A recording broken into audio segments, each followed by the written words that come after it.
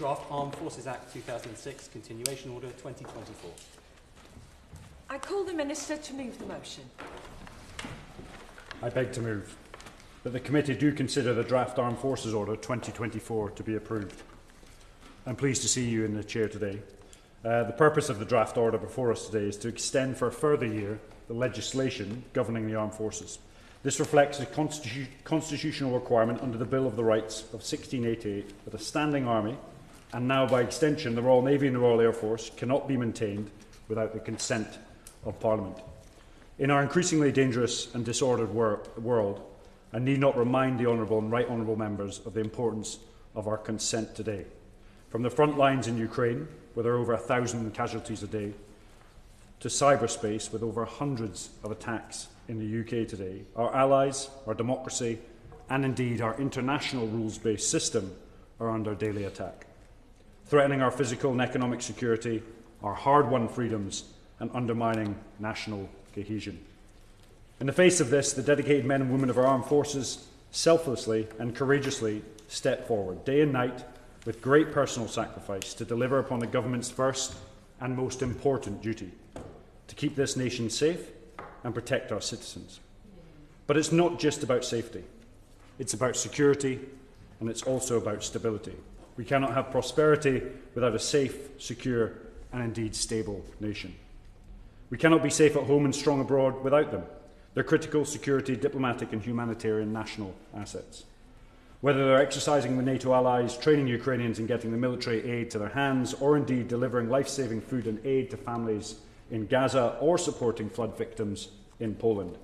Every five years, we collectively must renew our consent for this important work by an Act of Parliament. Today's draft order will keep in force the Armed Forces Act 2006 for a further year until December, de, until December 2025. This ensures our armed forces can continue to serve and maintains the provisions that underpin the system of command, justice, and of course, discipline. It's a privilege to seek cross-party support from the Committee for the Order, and in doing so I pay tribute to those who have served, those who are serving, and the wider Armed Forces community. By defending our country, they gave the ultimate in public service, and I beg to move.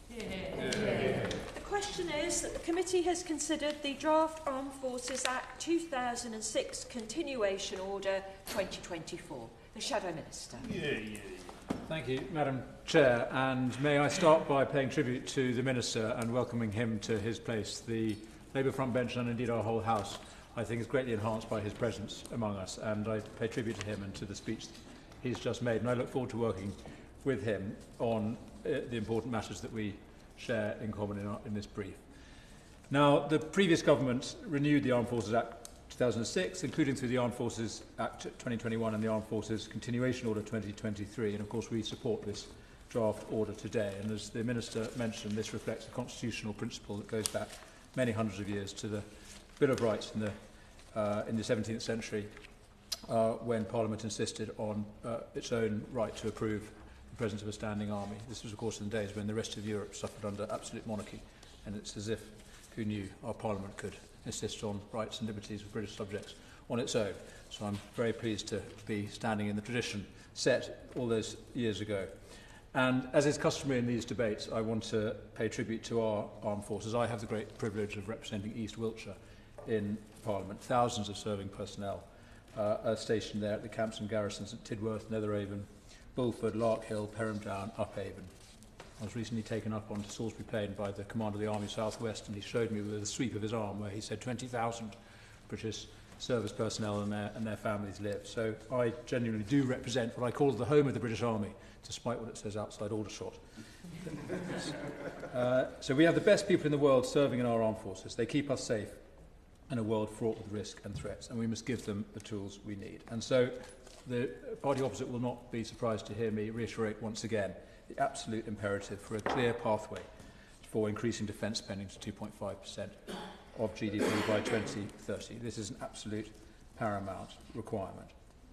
And if the government does not do this now in this debate or at the budget in a few weeks, there is a real risk of defence cuts at the worst possible time for our armed forces uh, when countries around the world are doing exactly the opposite. They are rearming, they are increasing defence spending in order to prevent escalation and keep us safe. And as we discovered at oral questions yesterday, the ministers could not even commit that defence training or research and development will have their budgets protected uh, in the upcoming budget. So we should not beat around the bush. Cuts in these areas would undermine our armed forces and our security. So our support for this order is total. that we are implacably opposed to any cuts in spending, including by delaying the increases, which the government is, at least in principle, committed to in due course, as they say. So that is the real test of our commitment to the armed forces, whether we're prepared to make the spending commitment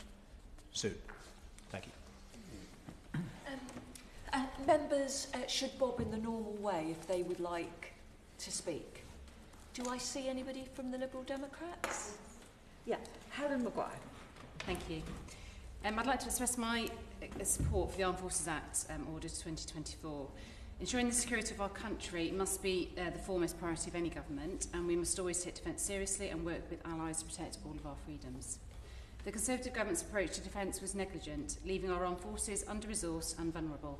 Reducing troop numbers by 10,000 was reckless, and delays in procurement have deprived our armed forces of the tools that they desperately need. Yeah, Further, service personnel veterans have been failed with insufficient mental health support, poor housing and inadequate care. Our military personnel simply deserve better.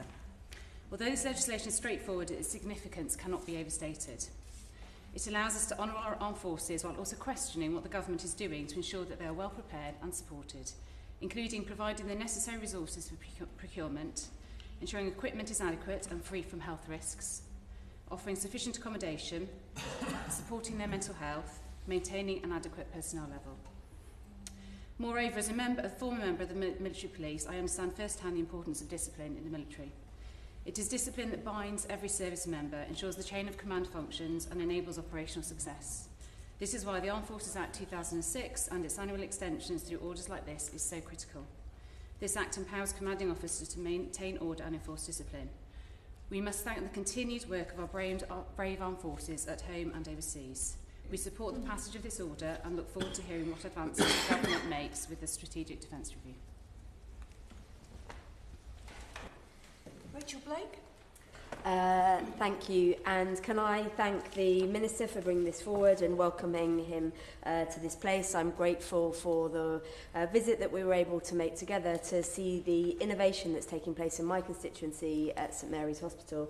I wanted to particularly welcome this order as we approach Remembrance Sunday and a period of reflection about the service of our armed forces, and also to welcome the fact that this government is al already making such progress on housing for veterans. Um, my constituency contains barracks but also some housing that has been left in terrible quality and I look forward to working on that particular issue to support veterans uh, in their housing situation going forward.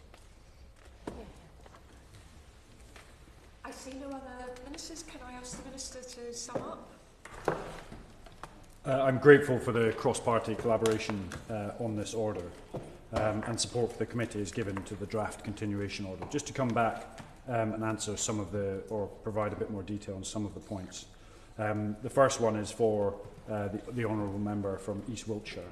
Um, as a serving, ex-serving member of, of the military, I understand the difficulties in balancing the budgets. And it's over the last 24 years, which includes the 14 years of which you've been government, I've been through different exercises that have been cut, chopped and changed because of difficulties in balancing that, that budget. That doesn't mean to say in any way, shape or form that we're going to cut training, but there are decisions that were always made within the system uh, to ensure the resources go in the right place at the right time for the required effect.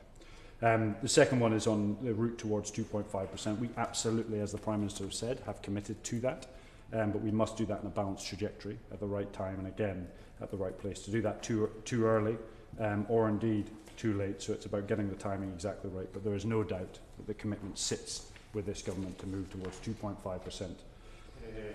Um, I would also like to cover off uh, just the, the, the honourable member as well. Um, there's some excellent programmes that have been running for some time now, which we as, as this side of the, the House will absolutely continue to move forward, and that's on mental, physical uh, and housing. Um, we're also looking at different methods to redesign some of our veterans uh, support, and we will be publishing a veteran strategy next year, um, which will outline some of those uh, different projects. And then finally, to this side of the House, the support to housing, uh, as mentioned by the Prime Minister uh, in his conference speech, is absolutely um, uh, going to move forward. Um, we're looking to uh, uh, uh, ways of making sure that every veteran has access to housing across the country